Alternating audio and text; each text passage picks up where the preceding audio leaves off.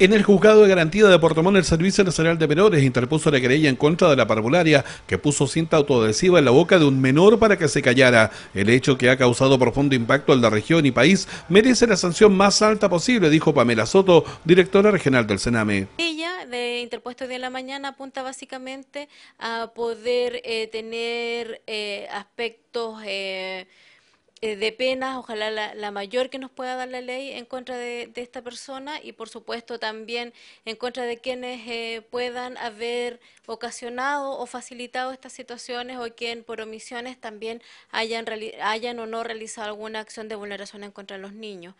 Eh, posterior a la querella, nosotros visitamos a la madre y por supuesto ella nos relata eh, con detalles cuáles fueron las acciones eh, que se realizaron en contra de su pequeño hijo. Además, la autoridad señaló que se investigan otros antecedentes sobre pasadas denuncias que pesan sobre la educadora, que recién llevaba dos años en el Colegio Domingo Santa María.